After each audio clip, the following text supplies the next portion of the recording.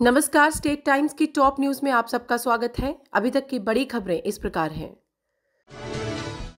भारत ने 22 से 24 मई तक होने वाली G twenty tourism working group की बैठक के लिए श्रीनगर को स्थल के रूप में किया घोषित। पहली बार बासठ दिन की होगी अमरनाथ यात्रा। लाइव देख सकेंगे आरती। श्री अमरनाथ यात्रा ऐप से मिलेगी सारी जानकारी।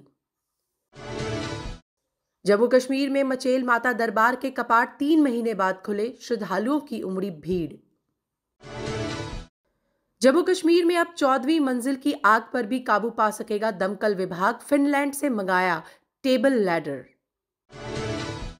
प्रदेश में विभिन्न मांगों को लेकर 17 अप्रैल को होने वाला चक्का जाम स्थगित कर दिया गया। सरकार और Jammu Kashmir transport welfare association के बीच मांगों पर सहमति बनने के बाद ये फैसला लिया गया।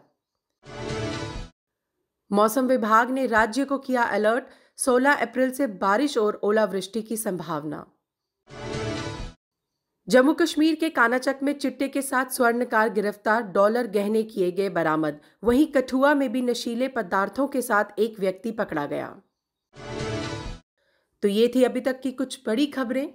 और खबरों के लिए देखते रहें स्टेट टाइम्स।